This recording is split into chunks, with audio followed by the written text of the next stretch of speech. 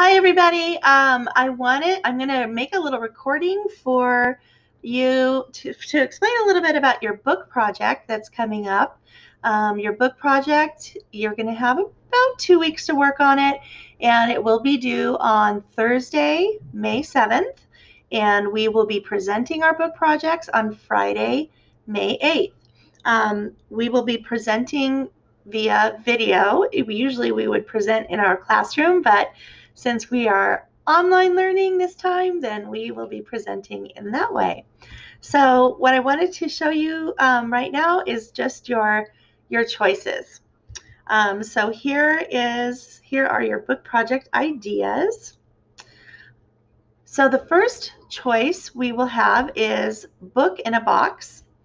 And what you would do is take a shoebox or similar type container and you you're going to fill it with eight different objects that represent part of your book.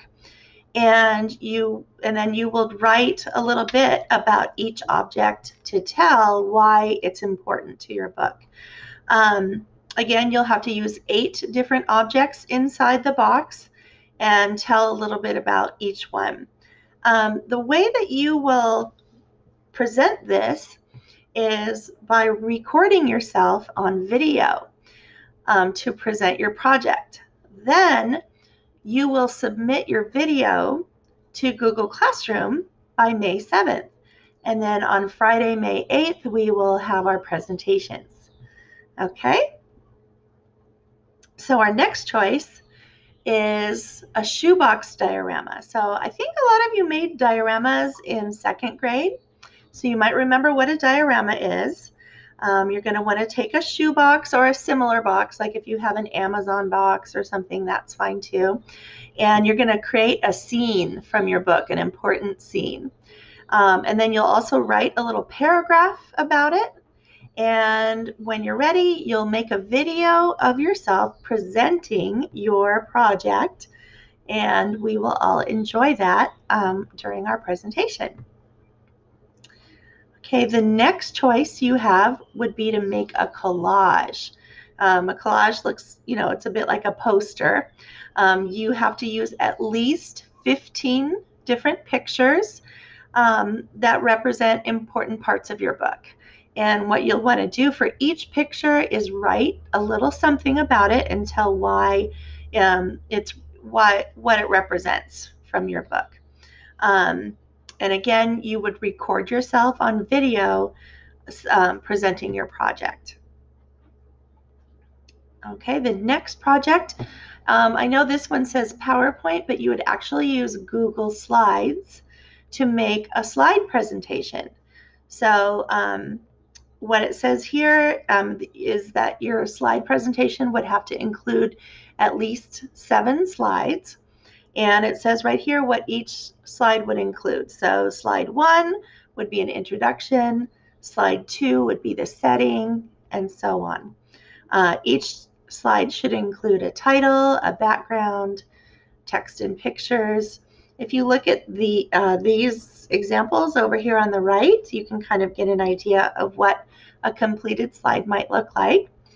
And when you're done, you will submit your slides to Google Classroom again so that we can present our projects on May 8th. And the final choice will be digital storytelling if you want to use iMovie or Adobe Spark to create your book project.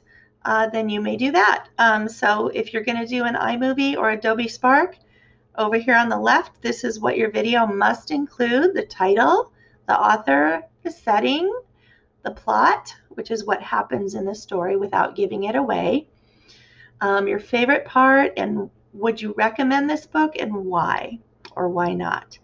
Um, and then I give you some helpful hints over here. Okay, so those are your book project choices. Um, I want you just to be thinking about that over the weekend. The, pro the, the project choices will be included in your Google Slides that you get on Monday. So then you'll have all the information that you need um, that your project will have to include. So um, all I want you to do this weekend is to think about what project you might want to do and um, maybe even start gathering the supplies that you'll need to finish your to do your project. Okay, so as always, just reach out to me if um, you have any questions or you need some help. I'm always here for you. So um, I hope you have some good fun with the project, and I can't wait to see um, what everybody comes up with um, on May 8th when we present. Bye.